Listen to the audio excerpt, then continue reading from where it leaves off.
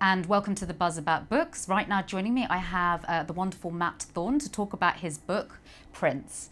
Um, welcome, Matt. How's it going? Okay, good. Um, so, you have spent seven years of your life uh, researching uh, all about Prince. Yeah, I realised I should probably yeah. stop doing it when, when I realised I've been working on the book longer than the Revolution were together as a band before oh they broke my up. goodness! So it's a really fat book though, and you've done you've definitely done a lot of research, and I'm suspecting that you're a little bit of a fan, right? Well, just, yeah, sure. just from I the mean, amount of research and extensive information you've got in here, it's yeah, amazing. I mean, I was a fan before I started work on it, but I Uh-huh. actually became more of a fan as, as I went on. Um, and, and it's opposite the process I think most people find when they're, they're spending a lot of time writing about Mm. somebody. Most people reach a point where they're That's absolutely sick of somebody, Yeah, I, I, didn't. I didn't really get to that point while I was it working was on it. it was the opposite. Um, you've written um, like a lot of fiction before, and this was this like one of your first non-fiction books. yeah, absolutely, my first non-fiction. A- And what what was that like? Um, I, I'd written Right. some journalism before, but I'd never written a long form non-fiction project. And actually, it was uh, it was pretty hard. I spent the first two years really. Um, it wasn't so much about the research then, but finding the right voice for the book, Mm. particularly with music books, because there's so many different tones you can take with music books. I mean, you can be very analytical, or you Yeah. can you can get into the life, or um, to how much you appear in the book is something that's quite controversial. Some people don't Mm. like writers who make themselves very present in the book. Other other people really like that. And well, how do you think yours is different from the other ones? Um, I think it's different in the way it concentrates on the work. I mean, that's the main Yeah. focus for me. I mean, there are there is stuff about his life and, and details in his life, but I didn't want to uh, focus too much on that because there's just Yeah. such a body of work, and he's such a prolific person that even just concentrating uh, on the work um, just takes so much time and space. Yeah, and um, did you have um, good access to his friends and family and people you worked with, or who who did you access for it to get Yeah, the there's a- information? There's a lot of interviews in the Yeah. in the book. Um, mainly from uh, former band members, people who've worked with him. I wanted to concentrate on the people who were, were involved in the music, people Yeah, like Wendy and Lisa. yeah. Um, they're two of the, the, the more significant ones. Um, but uh, yeah, so it's people who, all the way through his career from, from the very beginning, people like Chris Moon, um, right up until to um, people uh, really late on who had Mm. still worked on it as well. So the en- engineers uh, later on, uh, uh, but actual musicians as well, all the way through the book. And uh, one of the perks of the job was obviously going to all the concerts. And how many concerts would you say you went to, all in all, like during your research period? Uh, well, there were lots Yeah. during the research period. I mean, the main thing was when he was doing the 21 nights in London, and I Yeah. went to uh, 19 of the main shows and, and 40, uh, 14 of the after shows. Funnily, you were disappointed that you missed two. I was disappointed. I had to, I had so you've definitely become a mega fan now. When you, I yeah, yeah. And then, then and then I saw him uh, uh, at his house, and then I saw him in LA a few times, Mm. uh, and in New York a couple of times as well. So I mean, all of those were shows happening. Oh, and, and France as well. So I mean, when when I was working on the book, I, I sort of started to see him more and more. But that's because I wanted to write about the live Yeah. performance and how the live performance differ, differs in the book as well. How would you explain his live perfor- performance compared to like some other artists who is almost you know on the same level as him? I mean, What's I think the difference? I think the big thing is how different the shows can be. I mean, Yeah. all, the problem with uh, all big artists who are doing big shows like that, like say he's playing the O2 and he's playing to 20,000 people, is that he has to have a kind of hit space set. yeah. But even within that environment, he manages to mix it up and do lots of different things. But then the after shows are completely unique, and I think he's the only real uh, artist of his stature who can do that, who can play for two or three hours a main show and then go and do an after show for another two hours or two and a half hours and do completely different things every Mm. night. And I mean, that for me, that's extraordinary. And he's, he's this odd combination of being a very mainstream. Uh, popular musician Yeah. and almost like a kind of indie band as well at the same time because he's doing these or, or an experimental jazz band in a way because you're getting Yeah, all these yeah. unusual extra shows where he's doing stuff that's completely different and is, is uh, aimed at a much smaller audience. Yeah, it's amazing that he can be so incredibly kind of niche with some things, Yeah.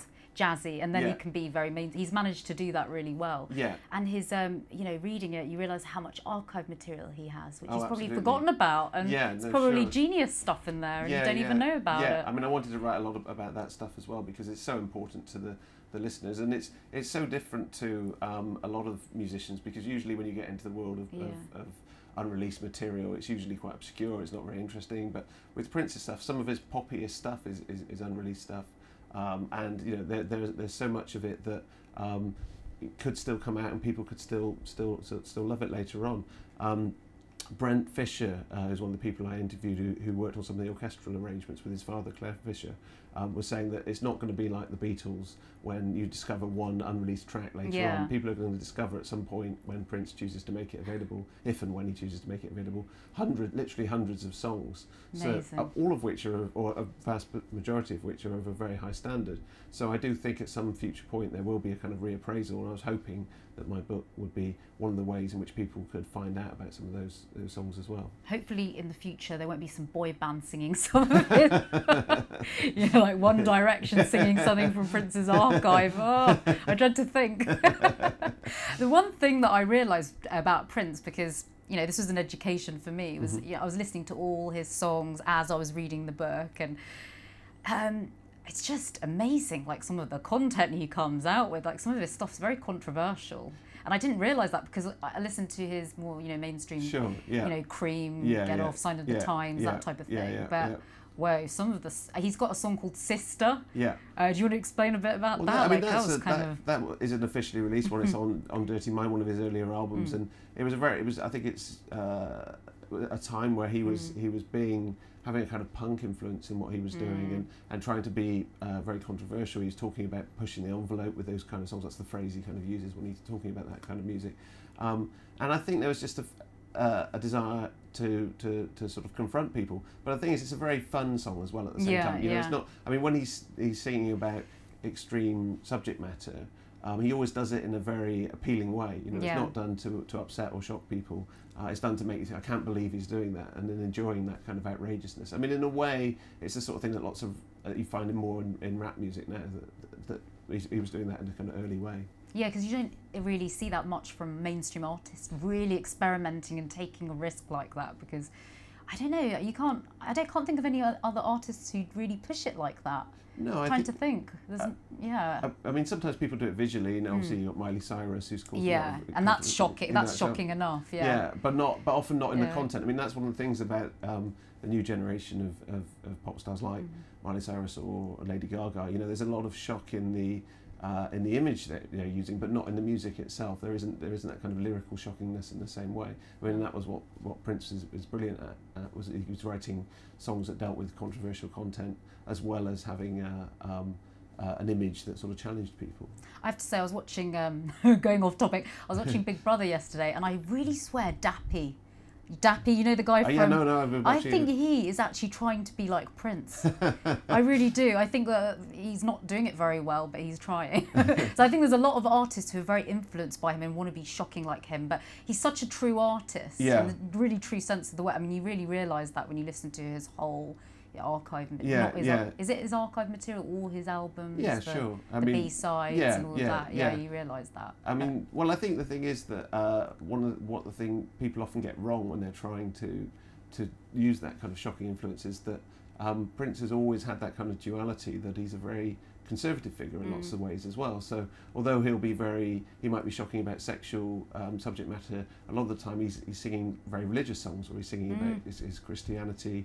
Um, and that kind of that I mean that adds to the kind of sh- the shock and, and confusion of it, you know. So if, if it's just Yeah. somebody being outrageous for uh, outrageous sake. I mean, uh, you know, I love that as well, but it doesn't it doesn't necessarily have a lasting impact. It doesn't really have any any kind of like um, continued uh, resonance in the culture. Well, thank you so much for sharing all this knowledge with us. It's No a really problem. fascinating read, and I would recommend everyone to listen to music while they're reading it as well. Absolutely. Um, so thanks, thanks for coming no in. Matt. problem. Thanks for having Uh, so that is Matt Thorne's book, Prince.